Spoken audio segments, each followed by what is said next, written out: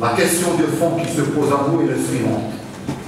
Comment saisir les opportunités offertes par la révolution numérique pour accroître la performance de nos entreprises et développer des services publics et privés pour le bien-être de tous nos concitoyens mais tout en veillant à protéger notre humanité? Euh, cette conférence sur l'intelligence artificielle entre dans le cycle des conférences, euh, échanges et débats de la Fondation Antigel Wafa.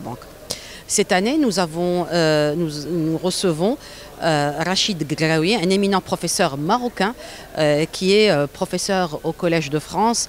la chaire, il dirige la chaire du numérique au Collège de France et il est également professeur à l'École polytechnique fédérale de Lausanne.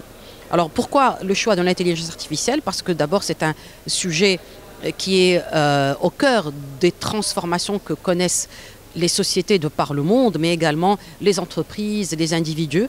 Et donc euh, c'est un choix qui nous a paru extrêmement important, d'autant qu'au Maroc, plusieurs initiatives, et dans le privé, puisque toutes les entreprises euh, aujourd'hui placent l'intelligence artificielle au cœur de la stratégie. Et puis l'État marocain avec beaucoup d'initiatives, dont le dernier d'ailleurs est l'appel à projet de recherche en matière d'intelligence artificielle euh, qui a été lancé par le ministère de l'Éducation nationale de la recherche scientifique en partenariat avec euh, le ministère de l'Industrie. Est-ce qu'on peut faire confiance à l'intelligence artificielle? Alors la réponse c'est on ne peut pas faire confiance à 100%, c'est sûr mais on peut essayer de mesurer la confiance qu'on peut faire à tel ou tel système et, faire en sorte que la probabilité que ça marche mal soit faible. Donc quelles sont les tendances en termes d'intelligence artificielle dans le secteur bancaire et financier bah, les, les, tendances, c'est de plus en plus vers beaucoup d'automatisation. Il y a beaucoup de choses qui passent dans les algorithmes, dans les systèmes informatiques, et peut-être qu'un jour les banques disparaîtront, peut-être.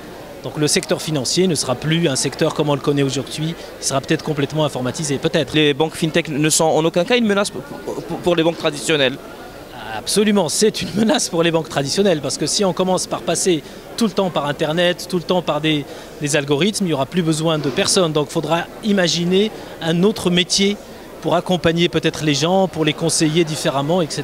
C'est très important de s'en rappeler, surtout quand on fait de la formation d'ingénieurs, ce qu'on appelle parfois les data scientists ou les, experts en intelligence artificielle, il ne faut pas oublier que la puissance des, des, algorithmes vient d'une chose, évidemment des gens qui travaillent dans les algorithmes, il ne faut pas qu'on reste sans job, mais surtout des systèmes informatiques.